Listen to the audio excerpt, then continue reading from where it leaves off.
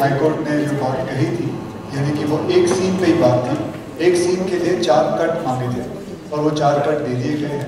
And we are ready to release on tenth of February ये लखनऊ के साथ जुड़ी हुई चीज़ें, मैं लखनऊ के बारे में ये कह सकता हूँ कि हमने फ़िल्म की शूटिंग लखनऊ में की और हमें बहुत मज़ा आया। फ़िल्म में इतनी सी भी आपत्ति नहीं आई शूटिंग के दौरान। कोई परमिशन की कोई प्रॉब्लम नहीं, हर चीज़ सही समय पर मिल जाती, सही समय पर आई थिंक लखनऊ शूटिंग करते हुए मुझे ऐसा महसूस हुआ कि it's a very friendly place to shoot सब जो लड़कियाँ भाग जाए मेरी ज़िंदगी से। इतनी डोमिनेटिंग लड़की है, पति से सारे काम करवाती है।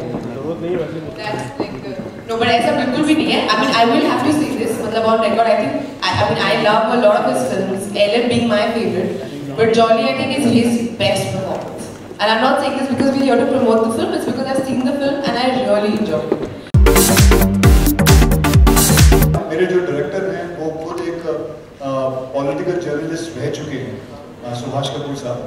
और आ, उन्होंने ये दुनिया काफ़ी अच्छी तरह खुद देख रखी है अपनी आँखों से देख रखी है। तो मैं सिर्फ़ उनको फॉलो करता गया एंड वेरी इजी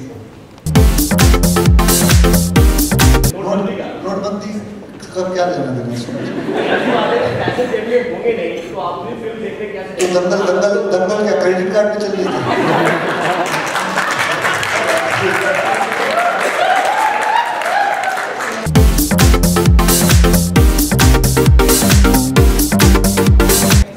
बेटे, तू पिक्चर तो देख ले।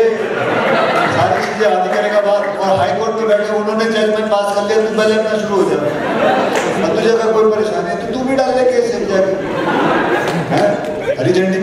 declarado